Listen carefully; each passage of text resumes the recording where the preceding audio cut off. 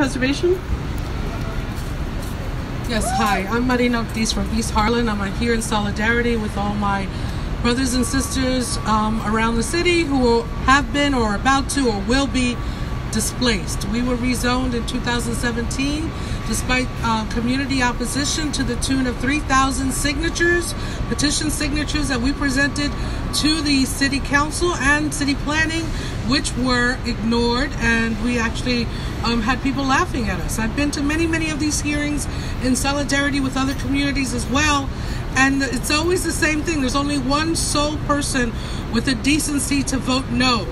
Everyone else there is beholden, as Lynn said, to the mayor, but also to the real estate industry because they are profiting from these changes. East Harlem will be severely impacted with 30 story towers up and down 3rd Avenue. These are properties that were owned and are still owned by people who've been warehousing them, keeping them empty for over 40 years. And so your gift to them is to allow them to build 30 stories with minimal affordable housing. In fact, what's being called affordable housing is not affordable to the people in East Harlem.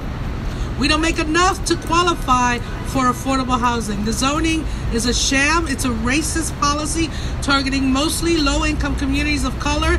They need to stop and they need to end the rezoning and bring us back to a uh, human scale city. Thank you.